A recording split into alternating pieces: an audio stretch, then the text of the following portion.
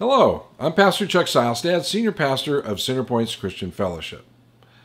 I want to welcome you today as we get into our teaching, and we're now in part two of the Rapture of the Church studies, where we're looking at the timing of the rapture.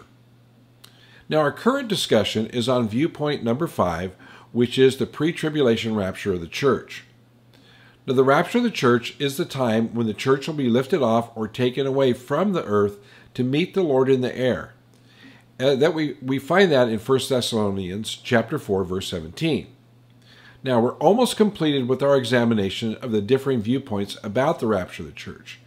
And as I've stated all along, the pre tribulation view, which I adhere to, points to prophetic chronological clues that indicate that the rapture will take place prior to the tribulation period.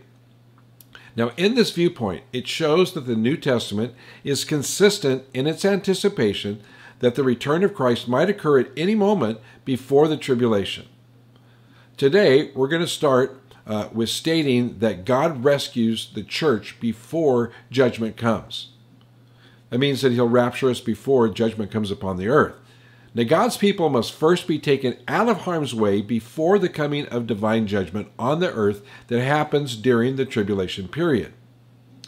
Let's look at a few examples. First of all, Enoch. Now, I don't necessarily use Enoch, but many scholars say Enoch was physically transferred to heaven before the judgment of the flood. And I know that he was taken out uh, while he was still alive. But of course, uh, that was many years prior to the event of the flood. But God took Enoch with him because of their relationship. And many scholars believe that Enoch is being reserved for the position as one of the two witnesses in Jerusalem during the tribulation period. Now that's possible, but it doesn't have to be him. Uh, another example is both Noah and Lot. Now they were living at different times, but Noah and his family were in the ark before the judgment of the flood. Now Lot was after the flood, but he was taken out of Sodom before judgment was poured out on Sodom and Gomorrah. It says in Luke 17, 26 through 30, just as I was it was, not me, uh, but just as it was in the days of Noah, so will it be in the days of the Son of Man. They were eating and drinking and marrying and being given in marriage until the day when Noah entered the ark and the flood came and destroyed them all. Now, likewise, just as it was in the days of Lot, they were eating and drinking, buying and selling, planting and building on the day when Lot went out from Sodom and fire and sulfur rained from heaven and destroyed them all, well, so it will be on the day when the Son of Man is revealed. So, see, here Christ explains that in order to understand God's pattern for end time judgment, these two historical events must be studied and comprehended. These two events, the flood that came in Noah's day, as well as the destruction of Sodom and Gomorrah in the days of Lot, well, what do both events have in common? Well, in both instances, God's people were removed from harm's way before judgment came. So we see that throughout the scripture, God is seen protecting his people before judgment falls. Now, Peter made the identical point in 2 Peter 2 5 through 9. He says, If he did not spare the ancient world when he brought the flood on the ungodly people, but protected Noah, a preacher of righteousness, and seven others, if he condemned the cities of Sodom and Gomorrah by burning them uh, to ashes and made them an example of what is going to happen to the ungodly.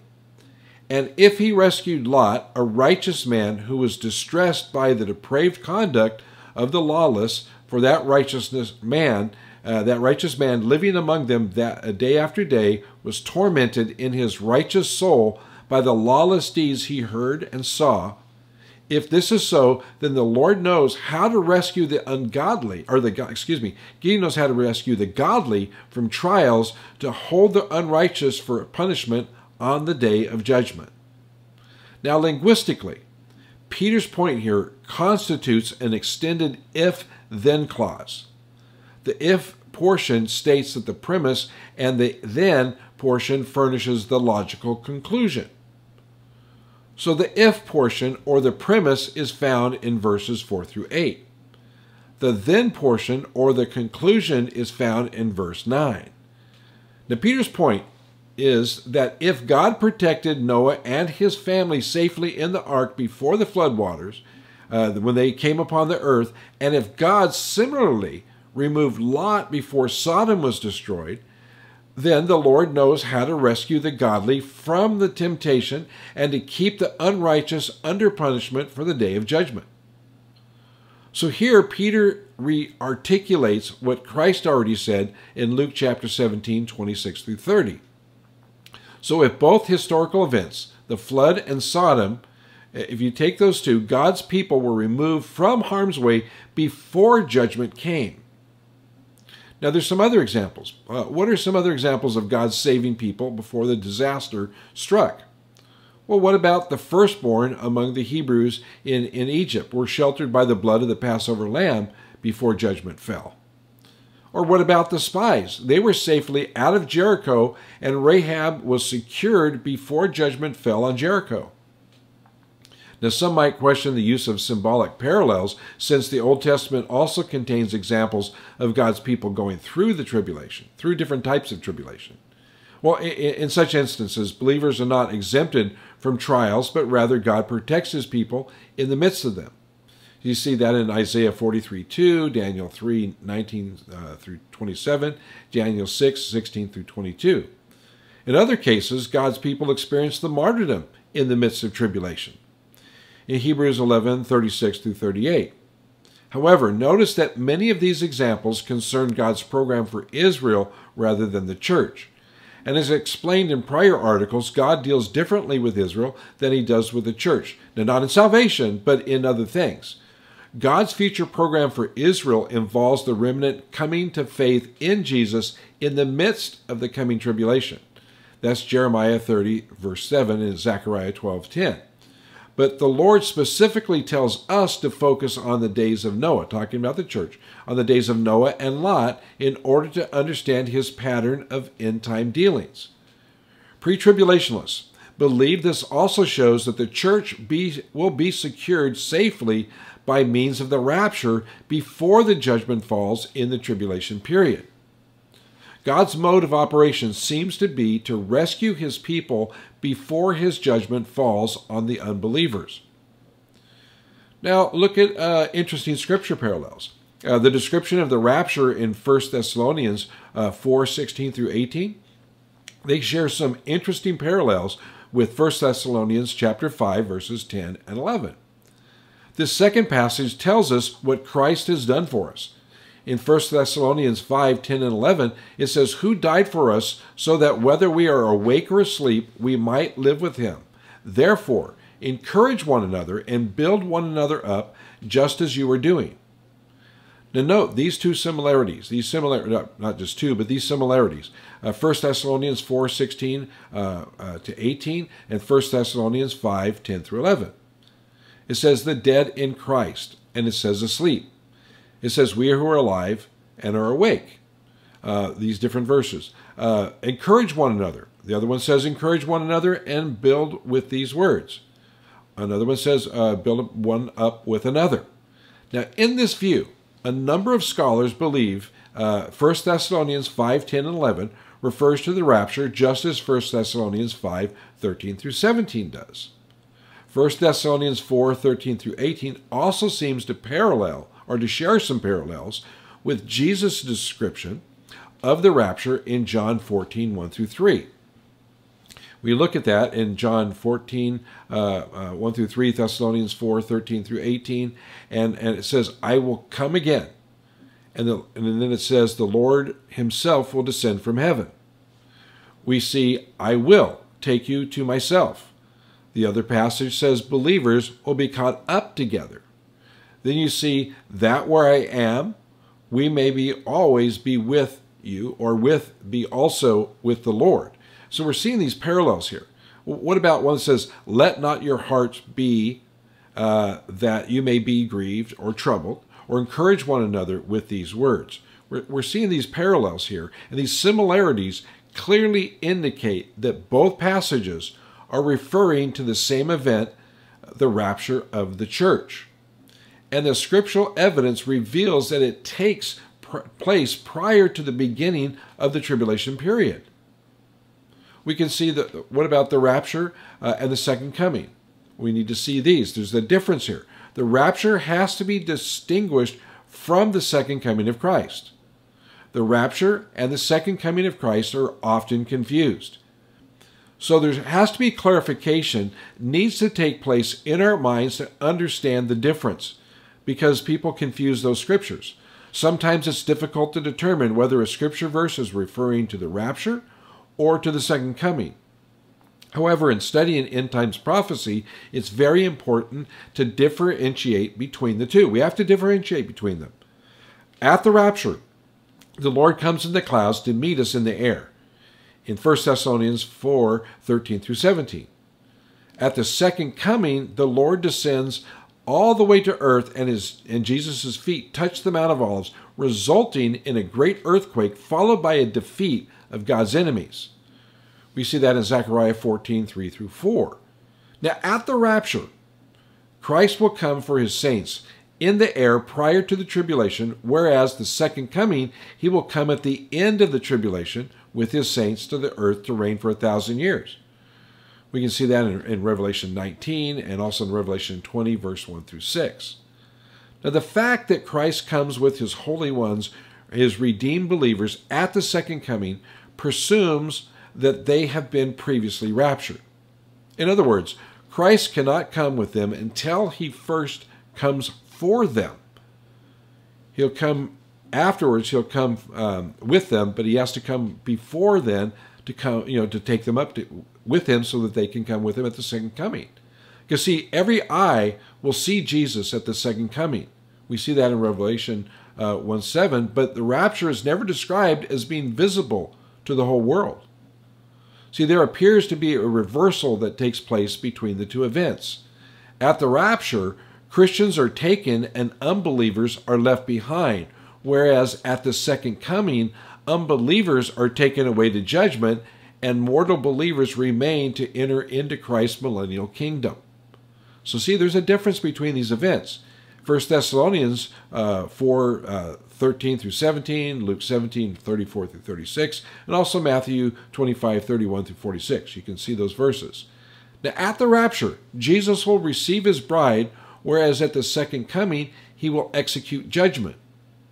The rapture will take place in the blink of an eye, instantaneous, whereas the second coming will be more drawn out. Uh, more will take place, and every eye will see him. Uh, some verses to look at is Matthew 25, 31 through 46, 1 Corinthians 15, 52, uh, Matthew 24, 30, and also Revelation 1, 7. Now, those are in my notes, so I, I know I'm going fast, but the rapture and the second coming are similar, but separate events. Both involve Jesus returning. Both are end times events. However, it's critically and crucially important to recognize the differences. The rapture is the return of Christ in the clouds to remove all the believers from earth before the time of God's wrath. The second coming is the return of Christ to the earth to bring uh, to the tribulation to an end and to defeat the Antichrist and his evil world power and his empire. Now we can also look at the bride and the bridegroom. See, Scripture portrays, portrays Christ as the bridegroom and the church as the bride of Christ. We see that in John 3:29, Revelation 19:7. See, the backdrop to this imagery is rooted in the Hebrew wedding, where it includes three phases. The first phase is the marriage was legally established by the parents of the bride and the groom, after which the groom left to prepare a place to live in his father's house. Now the bridegroom returned to claim his bride. But the groom doesn't know when he will come back for his bride until the father tells him it's time to claim his bride. Now, the, the marriage uh, was celebrated with a feast. That's the third phase. It was celebrated with a feast that lasted several days. But all three of these phases are seen in Christ's relationship to the church or the bride of Christ. Now, as individuals, first of all, living during the church age, come to salvation under the Father's loving and sovereign hand, they become a part of the bride of Christ, which is called the church. Meanwhile, Christ the bridegroom, they're left, uh, he, he left earth and is in heaven preparing a place for his bride of Christ uh, to live in his, in his father's house. That's what's happening now. Only the Father knows when the rapture will occur. And when it's time to rapture his bride, which is the church, and the Father tells his Son, Jesus, it's time to claim your bride. Now, the next thing in the parallel of the Hebrew wedding is the bridegroom returns to claim his bride at the rapture, at which time he takes his bride to heaven, where he has prepared a place for her. And we see that in John 14, 1 through 3. And, and understand, that's us, the worldwide believers in, the, in, in Christ. We're the church, all the believers in the world. See, the actual marriage takes place in heaven. We see that in Revelation 19, 7 through 9 prior to the second coming, which is in verses 11 through 16. And then, thirdly, many people believe that the marriage supper of the Lamb happens in heaven while the tribulation period is taking place on earth. Others believe the event follows the second coming prior to Christ's institution of the millennial kingdom. But this would take place during the gap between uh, that's mentioned in Daniel 12, 11 through 12. Compare it with Matthew 22, 1 through 4, uh, 14, and then 25, 1 uh, through 13 in Matthew. But during the tribulation, more likely it fits there within Revelation narrative, in the narrative in Revelation, because this event is for Christ uniting with his bride, the church. And there are other parallels as well. But the Jewish groom paid a price, a purchase price, to establish the marriage covenant, and Jesus paid a purchase price for the church with his blood on the cross. A Jewish bride was declared sanctified or set apart in waiting for her groom, and the church is declared sanctified and set apart for Christ, the bridegroom. We can see in 1 Corinthians 6, 19 through 20, 1 Corinthians 6, 11, Ephesians 25, uh, 5, 25 through 27. We can see in Matthew 25, 11 through 12, it says, Afterward, the other virgins came also, saying, Lord, Lord, open to us. But he answered, Truly I say to you, I do not know you. Watch therefore, for you know neither the day nor the hour. See, he doesn't know, uh, they don't know when the bridegroom's going to come. A Jewish bride was unaware of the exact time her groom would come for her, and the church is unaware of the exact time that Jesus the bridegroom will come at the rapture. Although we do know that his coming is imminent. It's going to happen at any time. And that's just like the Jewish bride. She knew that it could happen at any time. And we know the church that, that the rapture can take place and happen at any time. So Jesus says, watch. See, concerning his rapture of the church, Jesus said, watch and be ready. And he gave a series of parables emphasizing the importance of watching and the importance of being ready. Matthew 24, 37 through 38, it says, For as were the days of Noah, so will the coming of the Son of Man. For as in those days before the flood they were eating and drinking, marrying and giving in marriage until the day when Noah entered the ark. See, these people were caught by surprise when the flood came. It was business as usual. They weren't expecting the judgment of God to take place or to come. Jesus is saying that the condition of the world will be in with it when he comes for his church. It's going to be that way, like the days of Noah. See, while the world is going about their normal business, the rapture will catch them by surprise. In Hebrews 9:28, we read, "So Christ having been offered once to bear the sins of many, will appear a second time not to deal with sin, but to save those who are eagerly awaiting him. He's going to save them from judgment. See, the Lord expects us and wants us to be watching for him. He expects and wants us to be ready when he comes. See, we, we should be watching. Uh, it means that we live each day in continual anticipation and expectancy with the conviction that Jesus could come at any time. Okay, so I'm going to close for today, and we're going to pick up where we left off next week to continue the discussion of the pre-tribulation rapture, the viewpoint uh, uh, number five of the church, the, the pre-tribulation rapture, and we'll conclude this series of teaching. In other words, uh, next week I'm going to finish talking about the rapture and all the different timing. and we'll move on to another subject the following week. But for now, I want us to just take time to pray. And, and then, like I said, next week we'll come back and we'll continue on and finish off this, this teaching. So, Lord, we just thank you for today. I ask that you would give us your strength, give us your wisdom, give us your, your knowledge and understanding, and help us to be good scholars of the Word. Bless us today, open up our minds, and help us to know what you desire us to know. And we thank you for it. Help us to be ready. In your precious holy name we pray, Lord Jesus. Amen. Well, thank you for joining in with me today for this message.